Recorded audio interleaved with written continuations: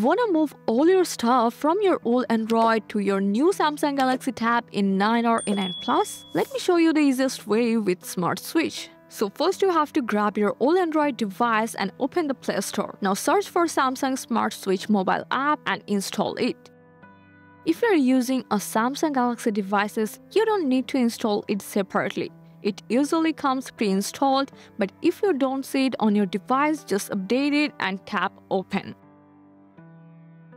After allow all the prompt, you have to choose send from this phone because I want to transfer data from my phone to my Samsung Galaxy Tab. Now I'm showing the wireless way, I will pick send wirelessly. Now you have to go for your Samsung Galaxy Tab. Just from your Play Store, you have to search for a Smart Switch app because it's already pre-installed. So I go for open if you can't find this app on your device, just update it from your Play Store.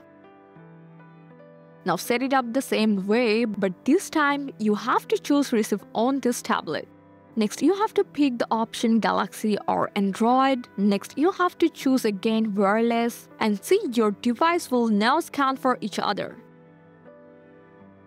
Now you have to scan the QR code by your Android device. After scanning, it will take few moments. You will see options for what you want to bring over. It can be everything, only the suggested items or custom files. Select what you want, press next, then start the transfer. You can see your data will move over in just a few minutes. Isn't it really easy? I hope this guide helped you a lot. Thanks for watching.